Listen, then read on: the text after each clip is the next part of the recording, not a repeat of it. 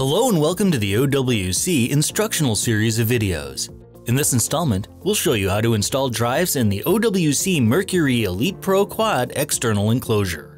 We've already gathered our materials and are working on a soft static-free surface. We're now ready to begin. The first thing we'll need to do is remove the front panel from the Pro Quad. Simply insert the key that came with the enclosure into the lock on the front and turn it clockwise. You should then be able to angle the front panel forward and lift it up and out. Remove each of the drive trays by first loosening the thumb screw at the top all the way, then using it to pull the tray out.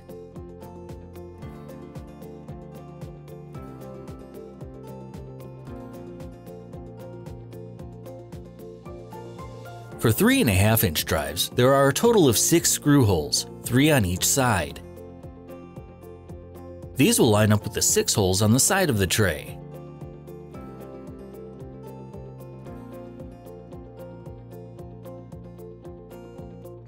Set the drive into the tray, then secure it with 6 of the slightly thicker hard drive screws included with the enclosure.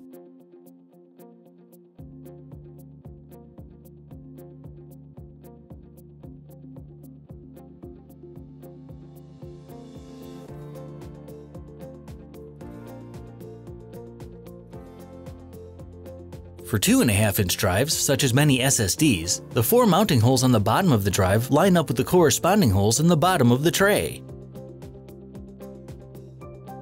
All you need to do here is align the holes and use four of the slightly smaller included screws to secure it in place.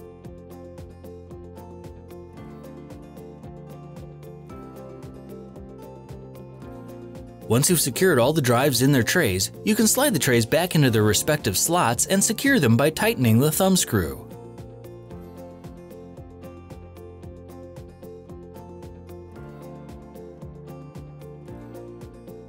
Finally, slide the front cover into place so that the pegs on the lower part go into the slots in the enclosure, then lean it up so it lays flush against the front, and turn the key counterclockwise to lock it in place.